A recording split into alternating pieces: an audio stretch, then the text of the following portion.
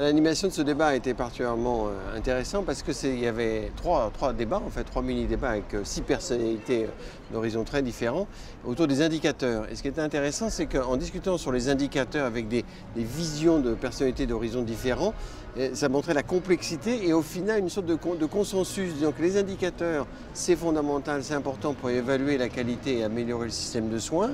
Et il faut que tout le monde y travaille. Tout le monde travaille sur les indicateurs, quelle que soit sa, spécialité.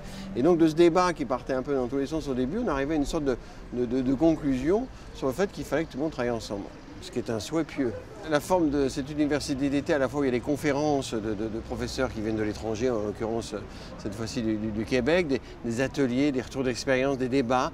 Euh, donc il y a différentes formes d'expression qui fait que c'est très vivant et je pense qu'on on arrive à faire le tour d'une question quoi, pour que les gens, sur cette notion qui est, nouvelle en, médecine, en, santé, qui sont les indicateurs, les gens s'approprient. Ce n'est pas, un discours descendant, c'est tout le monde discute, on essaie de faire participer tout le monde et on dit bah, tu vois, les indicateurs, il faut, faut travailler pour que des indicateurs en Donc cette forme, je pense, est très variée et très intéressante. Est-ce que j'aurais des suggestions à faire? Non, tout était parfait. Et ce qui est bien, c'est qu'il y, avait un système de questionnement, euh, non pas euh, par euh, je me lève et je prends un micro, les timides hésitent, ou les pas timides mettent une heure à poser leurs questions.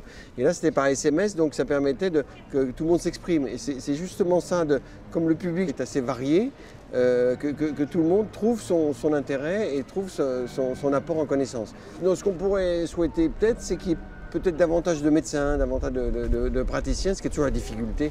Ils ont beaucoup de travail, euh, les libéraux ils sont payés à l'acte ils ont peu le temps, les hospitaliers sont submergés de travail. Donc c'est ça, il faut vraiment qu'il y ait toute la chaîne de soins qui soit présente. Je pense que c'est un effort important à faire. Comment les convaincre? En leur expliquant. Non, ben, peut-être non, en faisant, en faisant par, euh, par euh, progressivement, quoi, que ceux qui viennent en parlent, etc.